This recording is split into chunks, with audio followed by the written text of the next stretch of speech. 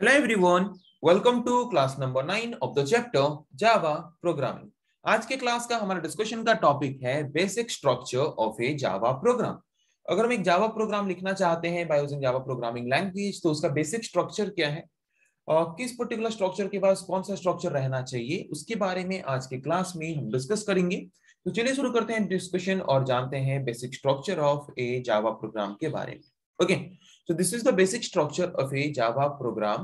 एक particular Java program अगर हम लिख रहे हैं तो उसका बेसिक स्ट्रक्चर ये है, जहाँ पे documentation section package statement import statement interface statement class definition and main method class रहता है। जहाँ पे डॉक्यूमेंटेशन सेक्शन जो है, वो सजेस्टेड पार्ट है मतलब ये हमें सजेस्टेड किया जाता है कि इसको यूज़ करना बहुत अच्छा है।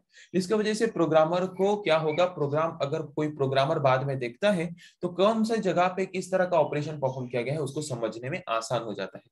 अगर हम डॉक्यूमेंटेशन सेक्शन को यूज़ करते हैं देन ऑप्शनल पार्ट जो है, वो है package statement import statement interface statement and class definition these are the optional parts and main method class this one is the most essential and most important part of the java program यहाँ पे बाकी ऊपर वाले जितने भी sections हैं जितने भी पार्ट्स हैं वो अगर ना हो जावा प्रोग्राम में तो भी चलेगा बट अगर मेन मेथड क्लास नहीं है तो जावा प्रोग्राम का एग्जीक्यूशन मतलब जावा प्रोग्राम का रन हम कर ही नहीं सकते ओके okay? तो हर एक पार्ट के बारे में वन बाय वन डिस्कस करते हैं। So the first part of the structure of the Java program is documentation section so what is documentation section इस सेक्शन को यूज़ करके हम क्या करते हैं एक पर्टिकुलर जावा प्रोग्राम में? We can write a comment in this section इस पर्टिकुलर सेक्शन में हम क्या करते हैं? कमेंट लिखते हैं। कमेंट लिखते हैं मतलब क्या? कि जैसे कि अगर आप एक प्रोग्राम कर रहे हो तो किस टॉपिक को लेके प्रोग्राम कर रहे हो? मतलब जो कि कंपाइल करते वक्त हमें प्रोग्राम में नहीं चाहिए। बट जब एक पर्टिकुलर प्रोग्रामर उस पर्टिकुलर प्रोग्राम को after long period of time देखे तो उसको कैसे आसान से समझ आए, उसके लिए हम क्या करते हैं कमेंट सेक्शंस को यूज़ करते हैं।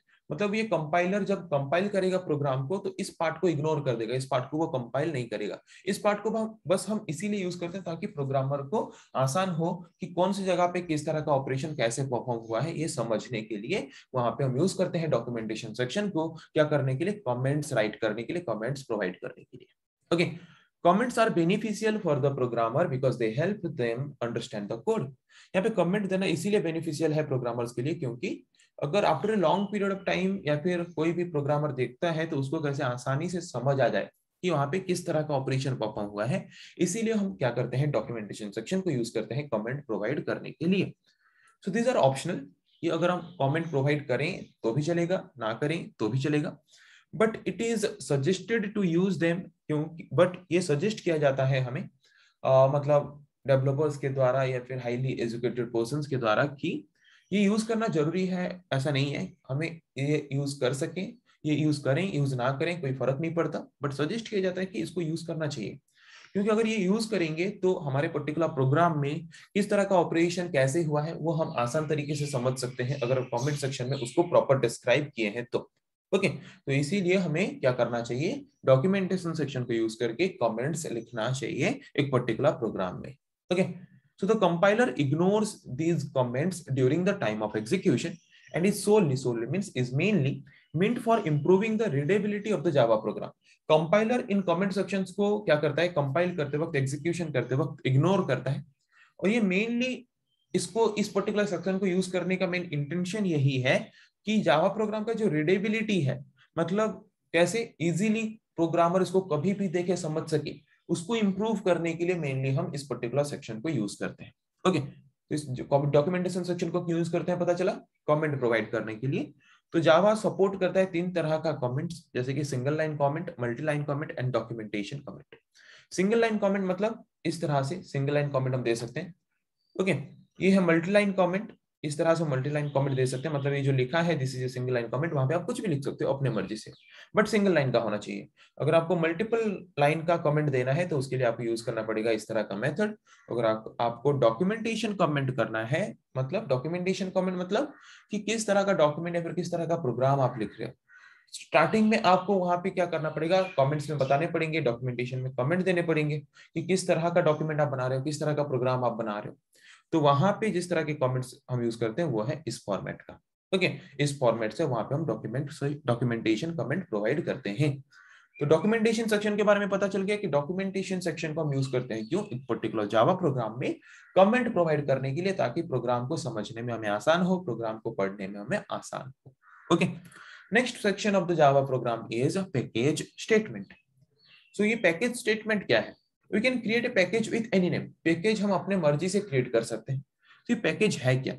Package is a group of classes that are defined by a name package क्या है? जैसे कि हम जानते हैं क्लास के बारे में पढ़े। हमने ये पढ़ा था कि जावा प्रोग्राम क्लास से शुरू होता है।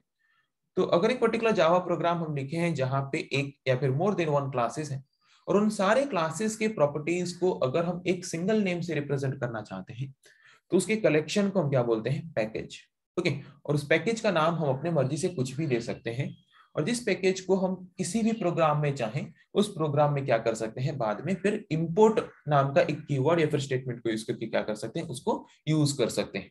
ओके, जैसे कि मैंने एक पर्टिकुलर प्रोग्राम लिखा जहाँ पे पाँच क्लासेस हैं, और उसको मैंने एक पैकेज के फॉर्म में रिप्रेजेंट किया बाय यूजिंग पैकेज स्टेटमेंट और उस पर्टिकुलर पैकेज में जितने भी क्लासेस हैं, उनके प्रॉपर्टीज़ को अगर मैं कोई बाकी प्रोग्राम में यूज़ करना चाहता हूँ तो उसको मैं क्या कर सकता हूँ? इंपोर्ट स्टेटमेंट या फिर इंपोर्ट की यूज़ करके क्या कर सकता हूँ? उस पर्टिकुलर पैकेज की क्लासेस को यूज़ कर सकता हूँ।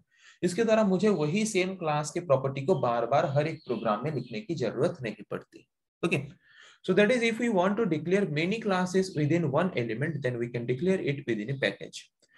तो यहाँ पे अगर मैंने एक पर्टिकुलर प्रोग्राम में बहुत सारे क्लासेस के प्रॉपर्टीज़ को डिफाइन किए हैं, वहाँ के, वहाँ पे वेरिएबल्स डिक्लेयर किए हैं फ़ंक्शंस डिक्लेयर किए हैं वही सेम क्लासेस अगर मुझे अलग अलग प्रोग्राम्स में भी चाहिए तो मुझे बार बार लिखने की ज़रूरत नहीं है। उनको अगर एक पैकेज में बना दो, जिस भी पर्टिकुलर प्रोग्राम में उस पैकेज के कोई भी क्लास का प्रॉपर्टी चाहिए तो उस पैकेज को इंपोर्ट करके हम क्या कर सकते हैं, उस पर्टिकुलर जावा प्रोग्राम में उस क्लास के प्रॉपर्टी को यूज़ कर सकते हैं बिना फिर से लिखे। जिसके वजह से हमारा जो कोड का लेंथ है, वो भी रिड्यूस हो जाएगा और हमारा जो कॉम्प्लेक्सिटी है फिर से प्रोग्राम लिखने का, वो भी रिड्यूस हो जाएगा। Okay it is an optional part of the program ये ऑप्शनल पार्ट है। ज़रूरी नहीं है कि हम पैकेज बनाए। अगर हम चाहते हैं, तब पैकेज बनाए। अगर पैकेज नहीं बनाना चाहते तो पैकेज ना बनाए। तब भी कोई दिक्कत नहीं है। If we don't want to declare any package, then there will be no problem with it and we will not get any error. अगर हम कोई भी पैकेज नहीं बनाना चाहते देर इज़ नॉट एनी कोई भी इशू नहीं है। वहाँ पे कोई भी एरर ऑकर नहीं होगा। Okay here the package is a keyword package एक कीवर्ड है that tells the compiler that package has been created package एक कीवर्ड है, जो कि कंपाइलर को ये बताता है कि यूज़र ने एक पैकेज क्रिएट किया ओके? उसके अंदर जितने भी क्लासेस हैं, उन क्लासेस को लेके या फिर उन इंटरफेसेस को लेके, जिसके द्वारा उस पैकेज में जितने भी क्लासेस हमने इंक्लूड किया उन क्लासेस को हम किसी भी और प्रोग्राम में अगर फिर से यूज़ करना चाहते हैं तो वहाँ पे फिर से हमें वही सेम क्लास के प्रोग्राम को लिखने की ज़रूरत नहीं है, उस पैकेज को इंपोर्ट करके उसको हम क्या कर सकते हैं? वही सेम क्लास के प्रॉपर्टी को उस पर्टिकुलर प्रोग्राम में यूज़ कर सकते हैं। ओके तो पैकेज क्रिएट करने का सिंटेक्स क्या है? Package package name package name आप अपने मर्ज़ी से कुछ भी दे सकते हो। Okay next part of the basic structure of a Java program is import statement अभी थोड़ी देर पहले मैंने बोल रहा था कि अगर मैं पैकेज क्रिएट कर दे रहा हूँ और उस पर्टिकुलर पैकेज में कोई भी अगर क्लास है और उस क्लास के प्रॉपर्टी को मैं अगर कोई और एक जावा प्रोग्राम में इंपोर्ट करना चाहता हूँ मतलब उस पर्टिकुलर पैकेज में जो क्लास है, उसी सेम क्लास का प्रॉपर्टी अगर मुझे फिर से और एक जावा प्रोग्राम में चाहिए तो फिर से उसको ना लिख के अगर हम पैकेज के प्रॉपर्टी को इम्पोर्ट कर दें तो वहाँ पे बिना प्रोग्राम लिखे एक सिंगल लाइन में हम क्या कर सकते हैं, उस क्लास के प्रॉपर्टी को हमारे जावा प्रोग्राम में यूज़ कर सकते हैं। तो इंपोर्ट स्टेटमेंट का काम क्या है? Many predefined classes are stored in packages in Java Java में बहुत सारे प्री डिफाइंड पैकेजेस हैं, जिसके अंदर बहुत सारे प्री डिफाइंड क्लासेस हैं। ओके उन क्लासेस को यूज़ करके हम क्या कर सकते हैं? जैसे कि मैथ क्लास है स्ट्रिंग क्लास है, उन क्लासेस को यूज़ करके हम क्या कर सकते हैं? Different type of mathematical as well as string operation perform कर सकते हैं। तो वहाँ पे अगर उन पैकेजेस के क्लासेस को अगर मैं प्रोग्राम यूज़ करना चाहता हूँ तो वहाँ पे मैं इम्पोर्ट स्टेटमेंट या फिर इंपोर्ट कीवर्ड को यूज़ करके क्या कर सकता हूँ? उन क्लासेस को, उन पैकेजेस से सिंगल लाइन में क्या कर सकता हूँ? सिंगल लाइन में प्रोग्राम में इम्पोर्ट स्टेटमेंट के द्वारा उन क्लासेस के उन पैकेजेस के, के अंदर जो क्लासेस हैं उनके प्रॉपर्टीज़ को क्या कर सकता हूँ? प्रॉपर्टीज़ को मैं अपने प्रोग्राम में यूज़ कर सकता हूँ। ओके वैसे ही अगर मैं पैकेज स्टेटमेंट यूज़ करके कोई पैकेज बना रहा हूँ उस पर्टिकुलर पैकेज के कोई भी क्लास के प्रॉपर्टी को अगर मैं और एक जावा प्रोग्राम यूज़ करना चाहता हूँ तो उसको भी मैं इंपोर्ट स्टेटमेंट के थ्रू क्या कर सकता हूँ? अलाउ कर सकता हूँ यूज़र को कोई दूसरे प्रोग्राम में उसको इम्प्लीमेंट करने के लिए ताकि उसको फिर से वही सेम क्लास का प्रोग्राम लिखना ना पड़े।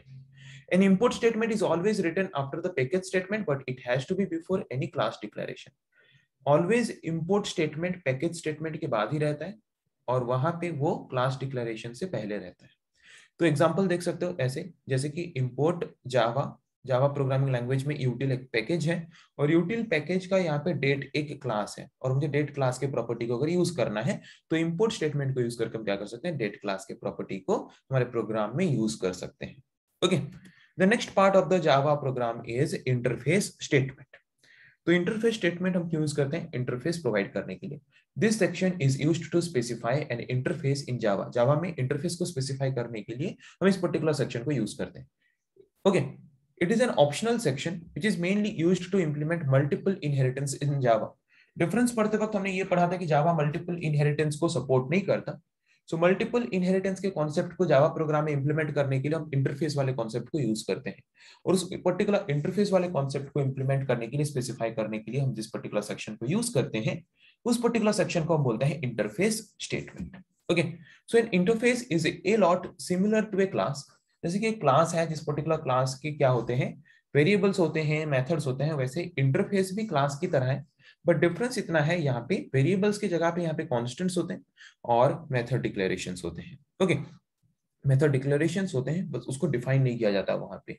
इंटरफेस क्लास की तरह है बट क्लास के अंदर वहाँ पे वेरिएबल्स होते हैं मेथड्स होते हैं मेथड डिफिनीशन होते हैं बट इंटरफेस के अंदर क्या होते हैं कॉन्स्टेंट्स होते हैं एंड मेथड डिक्लेरेशन होते हैं।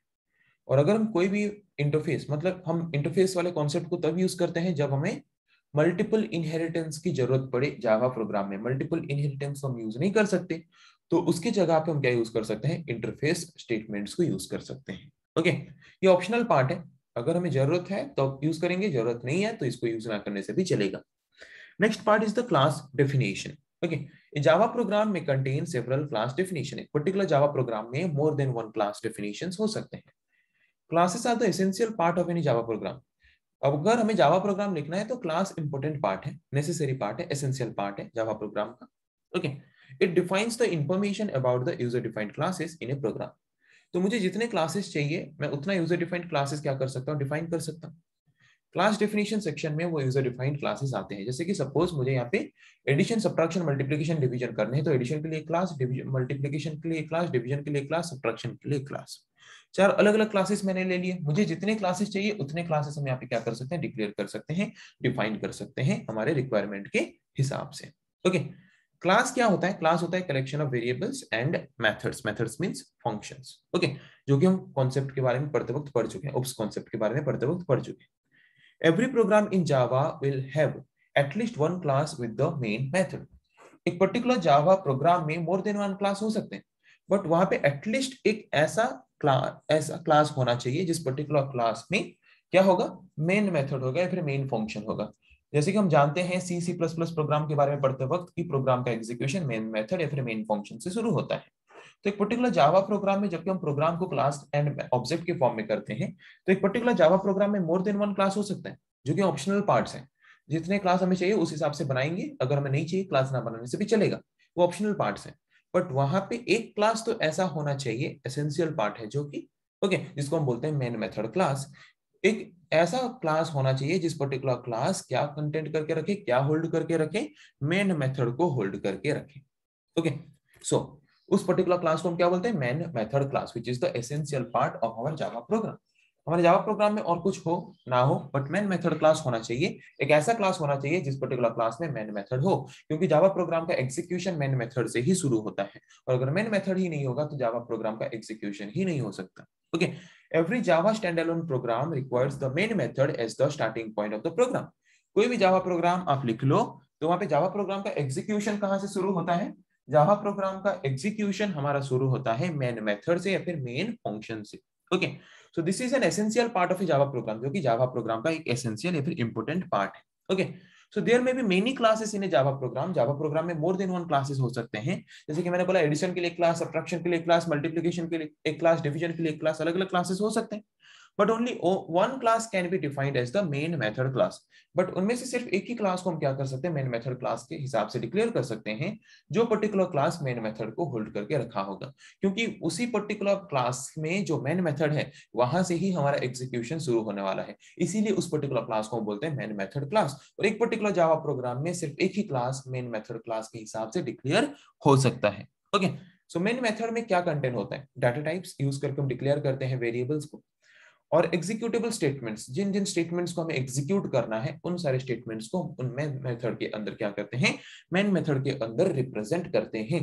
ओके सो आई थिंक समझ आ गया क्या क्या सेक्शंस हैं। एक सिंपल बेसिक स्ट्रक्चर क्या है? एक जावा प्रोग्राम का। ओके डॉक्यूमेंटेशन सेक्शन इस करके कमेंट प्रोवाइड करते हैं। डॉक्यूमेंटेशन सेक्शन के बाद हमारा क्या है डॉक्यूमेंटेशन सेक्शन के बाद हमारा आया पैकेज स्टेटमेंट जहाँ पे हम पैकेज क्रिएट करते हैं। जिसके अंदर मल्टीपल नंबर ऑफ़ क्लासेस हो सकते हैं, जिसके द्वारा उन क्लासेस को अगर हम कोई और प्रोग्राम यूज़ करना चाहें तो उसको फिर इंपोर्ट स्टेटमेंट के थ्रू इंपोर्ट करके यूज़ कर सकते हैं। ओके देन इंटरफेस स्टेटमेंट को यूज़ करके इंटरफेस क्रिएट कर सकते हैं, वो भी ऑप्शनल पार्ट है। ओके इंटरफेस स्टेटमेंट हम तब यूज़ करते हैं जब हमें मल्टीपल इनहेरिटेंस के कॉन्सेप्ट को जावा प्रोग्रामिंग लैंग्वेज में यूज़ करने की ज़रूरत पड़े। ओके उसके बाद क्या आता है? इंटरफेस स्टेटमेंट के बाद हमारा फिर क्या आता है? इंटरफेस स्टेटमेंट के बाद हमारा आता है क्या?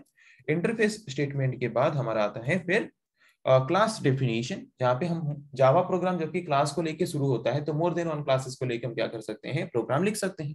वो ऑप्शनल पार्ट है more than one user defined class लेना। बट वहाँ पे एक ऐसा क्लास होता है जो कि हर एक जावा प्रोग्राम में होना ज़रूरी है, जिस क्लास को हम बोलते हैं मेन मेथड क्लास जो कि मेन मेथड को होल्ड करके रखता है। क्योंकि हमारा जावा प्रोग्राम जो है, वो मेन मेथड से एग्जीक्यूशन शुरू करता है। तो एसेंशियल पार्ट जो है हमारे जावा प्रोग्राम का वो है मेन मेथड क्लास बाकी कोई पार्ट हो ना हो कोई फ़र्क नहीं पड़ता। बट एक पर्टिकुलर जावा प्रोग्राम में मेन मेथड क्लास होना ज़रूरी है। सो so, आज के क्लास में हमने जावा प्रोग्राम का एक बेसिक स्ट्रक्चर जो है उसके बारे में डिस्कस किया। सो आई थिंक आज की क्लास में जिस पर्टिकुलर टॉपिक के बारे में हमने डिस्कस किया आप लोगों को समझ आ चुका है। नेक्स्ट क्लास में हम डिस्कस करेंगे इन बेसिक स्ट्रक्चर को लेके एक सिंपल एग्जांपल इसके वजह से हम इसके बेसिक स्ट्रक्चर को और ज़्यादा आसान तरीके से समझ आ जाएगा। ओके सो आज के क्लास में हमने डिस्कस किया basic structure of Java program के बारे में। सो नेक्स्ट क्लास में हम डिस्कस करेंगे इस पर्टिकुलर बेसिक स्ट्रक्चर को लेके एक एग्जांपल के बारे में। सो आई थिंक आज की क्लास में जिस टॉपिक के बारे में हमने डिस्कस किया, आप लोगों को समझ आ चुका है। सो नेक्स्ट क्लास में हम डिस्कस करेंगे नेक्स्ट टॉपिक के बारे में। आज के लिए इतना ही। Thank you